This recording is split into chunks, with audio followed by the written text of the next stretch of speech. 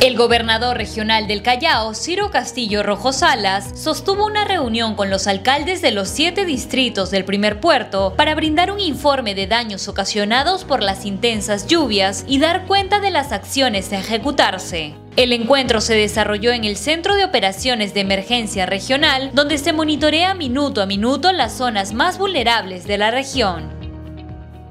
Este es un equipo que tiene que trabajar 24-7 hasta, no solo hasta que termine esta, este episodio, este, este efecto adverso, este, este evento adverso de la naturaleza, sino ojalá que los cuatro años de nuestro mandato nos mantengamos así. Es el momento, este momento tenemos que aprovechar para trabajar de manera unida. Declararíamos ya en sesión permanente esto, los teléfonos abiertos, tenemos radio, tenemos todo así que no va a haber ningún problema.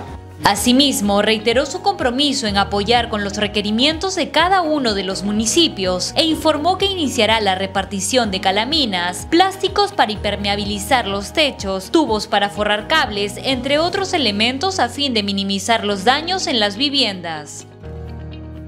Zona Sur, Mi Perú, Carmen de la Legua y las laderas de Ventanilla. Esas son las zonas más vulnerables. Tenemos carpas de acopio, todos hagamos centros de acopio y todos juntemos esta cantidad de víveres no perecibles, agua, frazadas, plásticos para impermeabilizar los techos. Vamos a ir a entregar directamente a aquellos lugares del Callao que han sido visiblemente más afectados. Por otro lado, hizo un llamado a la población a estar prevenida y seguir las recomendaciones de las autoridades correspondientes para evitar afectaciones. Gobierno Regional del Callao, al servicio de los más necesitados.